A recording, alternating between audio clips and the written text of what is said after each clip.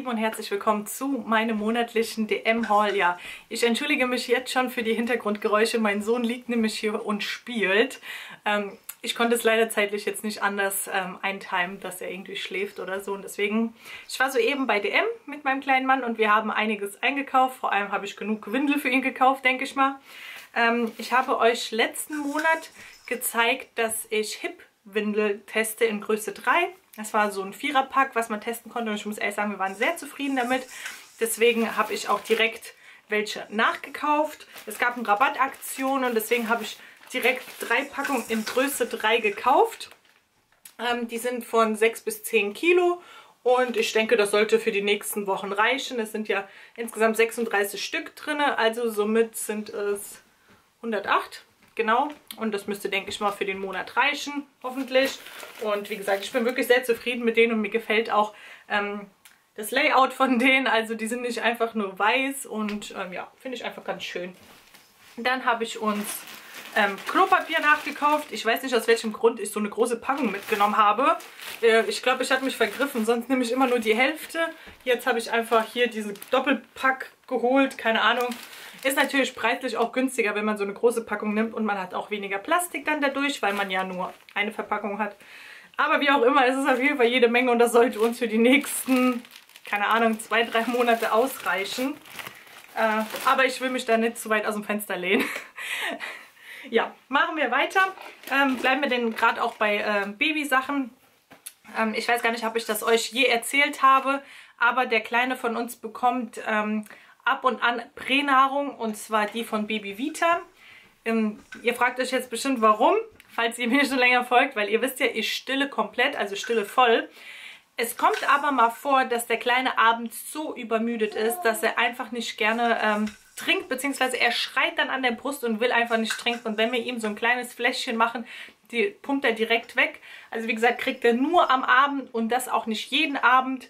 Deswegen ist es immer gut, mal so eine Packung Pränahrung da zu haben, falls man irgendwie auf einmal nicht zu Hause ist oder man ist krank oder keine Ahnung. Also wie gesagt, so eine Packung äh, sollte man immer zu Hause haben, bin ich der Meinung. Aber ich möchte da jetzt auch keine Diskussion oder so ähm, breit treten hier. Und ähm, ja, wie gesagt, haben wir von Baby Vita, das ist jetzt die zweite Packung, die wir nachkaufen. Wir haben zwar noch ein bisschen was da, aber wie gesagt, ich bin gerne bewappnet für alle Fälle und deswegen habe ich es nachgekauft.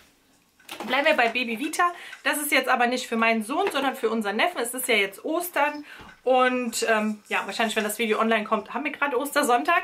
Ähm, genau, und deswegen habe ich hier für meinen Neffen solche Baby Vita Quetschis geholt. Ich denke mal, damit sollte man nichts falsch machen. Der Kleine ist ähm, elf Monate alt und ähm, das darf er ja dann schon essen, denke ich. Und wenn nicht, dann erst ab nächsten Monat. Und ich finde halt, es ist auch praktisch, wenn man unterwegs ist oder so. Also ich würde mich auf jeden Fall über sowas freuen, wenn mir jemand sowas Praktisches schenken würde für mein Kind, weil Spielsachen haben die genug. Ja, dann habe ich für mich ähm, Stilleinlagen gekauft. Ich habe euch schon in, äh, glaube zwei Videos gesagt, dass ich ja eigentlich waschbare Stilleinlagen benutze. Apropos waschbare Stilleinlagen, habe ich gerade hier drin und ich merke, dass die verrutscht ist. Das ist halt ein Nachteil von den waschbaren, die kleben nicht. Ich habe aber trotzdem gesagt, ich möchte mal immer eine Packung von den Einwegstilleinlagen da haben, ähm, weil es gibt doch hier und da mal Oberteile, ähm, die vielleicht lockerer sind und ähm, ja, die einfach nicht meine Stilleinlagen halten, weil ich trage auch mal Oberteile, wo ich kein BH drunter anziehe und deswegen ist es praktisch, wenn man so klebrige, klebrige, klebende Stilleinlagen hat. Wie gesagt, die von Babylove sind echt ganz gut und die sind auch super günstig. So, ich nehme mal meinen Korb hier auf meinen Schoß. Das äh, ist aus einem anderen Geschäft, ist aus Versehen hier reingekommen. Dann habe ich ein Trockenshampoo von Batiste gekauft. Das war auch, ich glaube 15% Rabatt gab es äh, bei DM für Haarsachen. Und da habe ich für meinen Mann eins gekauft und zwar für dunkles Haar. Ähm, wir benutzen nämlich ab und an auch mal äh, Babypuder als Trockenshampoo und mein Mann hat halt dunkle Haare und wenn er das nicht gut verreibt, dann sieht man das auch. Und deswegen habe ich mir gedacht, warum nicht einfach für ihn ein Trockenshampoo kaufen, wenn es mal morgens schnell gehen soll. Und ja, von Batiste ist es auf jeden Fall super. Ich weiß zwar nicht, wie das riecht, aber ich hatte schon mal ein anderes in meinen Glossy-Box gehabt und damit war ich sehr zufrieden. Und deswegen habe ich für mich auch gerade eins mitgenommen. Wie gesagt, weiß ich auch nicht, wie es riecht. Da gab es leider keinen Tester. Und zwar hier so ein Sherry. Ihr könnt mir ja gerne unten in die Kommentare schreiben, wie ihr die Batiste ähm, Trockenshampoos so findet. Dann habe ich, das habe ich auch letzten Monat schon gekauft, beziehungsweise ein ähnliches, und zwar die Lenore Unstoppable Wäscheparfums.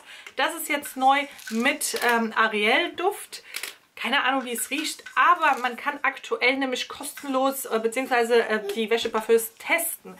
Das heißt, ihr registriert euch auf so einer Seite, gebt hier diesen Barcode an und eure Bankverbindung und dann kriegt ihr diese 4,95 Euro wieder zurücküberwiesen. Das habe ich letzten Monat gemacht und ich habe auch das Geld wirklich innerhalb von ein, zwei Wochen überwiesen bekommen. Deswegen, falls ihr gerne mal welche testen wollt, dann würde ich, äh, würde ich euch raten, jetzt welche zu testen. Dann, was ich ebenfalls teste, was ich noch nie gekauft habe, sind, ähm, ist so ein feuchtes Toilettenpapier. Hier ist es eine Limited Edition She Love, She Love, wie auch immer. Ist ein Dreierpack. Ich hatte sonst äh, mal welche Sensitive gekauft. Ähm, eigentlich vor der Geburt und ich dachte mir, hm, falls ich irgendwelche Geburtsverletzungen habe und ja, mich einfach mal frisch machen möchte und nicht waschen kann oder so, hatte ich die Sensitive gehabt. Und ich muss sagen, es ist echt praktisch, mal feuchtes Klopapier zu Hause zu haben. Ich muss euch ja nicht erklären, für was man es braucht.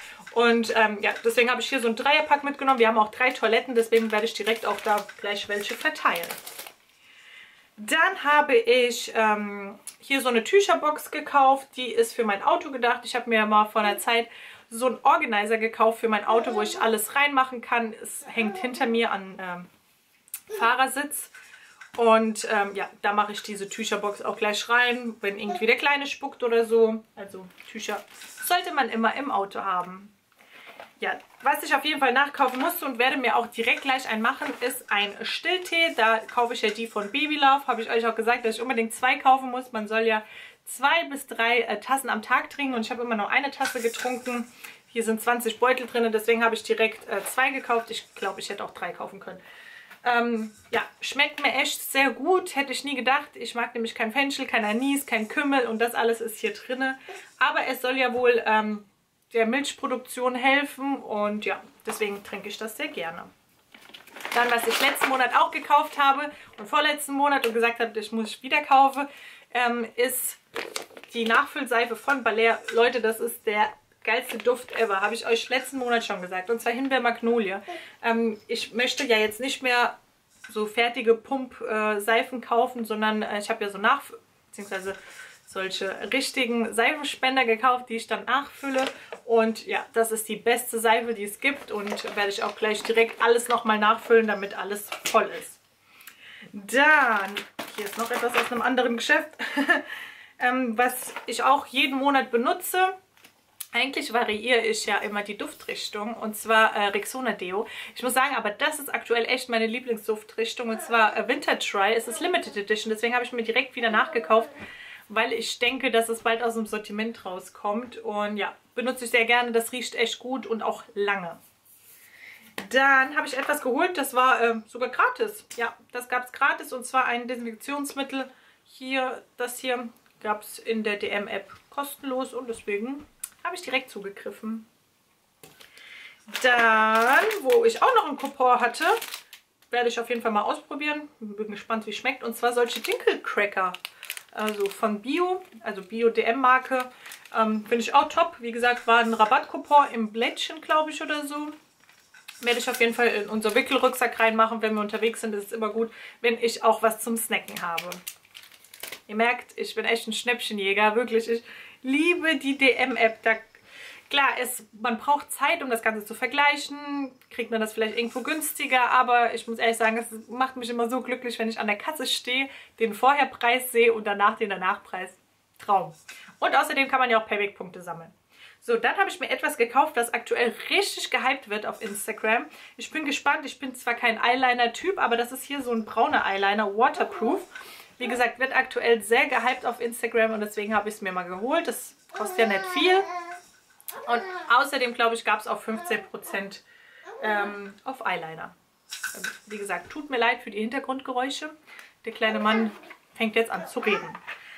Ähm, dann, was ich mir jeden Monat kaufe, sind ja meine Haut-, Haar- und Nägelkapsel bzw. Tabletten von Doppelherz. Die nehme ich hauptsächlich für meine Haare, meine Haut.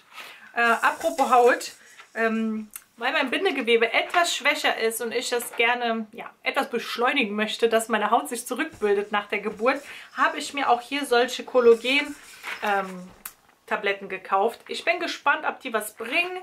Hier ist auch Hyaluron und Q10. Ich werde ja auch in zwei Jahren 30. Da kann man auf jeden Fall schon mal damit anfangen. Hier ist Biotin drin, Kupfer, ähm, Mangan. Wie gesagt, ich bin gespannt. Ich werde die jetzt beide am Abend einnehmen und gucken, ob sich was verändert. Natürlich geht das nicht innerhalb von einem Monat. Das heißt, ich werde das locker jetzt die nächsten Monate kaufen. Wie gesagt, ich bin gespannt und werde euch davon auf jeden Fall berichten, wie zufrieden ich damit bin. Ja, und das letzte, was ich gekauft habe, sind unsere Hygiene-Reinigungstücher. Ähm, die zeige ich euch auch öfters. Die brauche ich immer zu Hause oder auch unterwegs. Ich habe im Auto einen Pack, ähm, gerne auch immer im Kinderwagen, wenn man unterwegs ist. Auf den Toiletten, ähm, wenn man mal Besuch hatte oder so, wische ich gerne mal die Klobrille damit ab. Aber auch die Türgriffe, also die Handgriffe, ähm, wie gesagt, sind vielseitig äh, einsetzbar und ja, muss auf jeden Fall jedes Mal mit. Ja, das war's auch mit meinem DM-Haul. Ich hoffe, euch hat der Haul gefallen. Wenn ja, dann lasst gerne einen Daumen nach oben da und ich würde mich wie immer über eure Kommentare freuen. Vielen Dank fürs Zuschauen, ihr Lieben. Bleibt gesund und bis zum nächsten Mal. Tschüssi!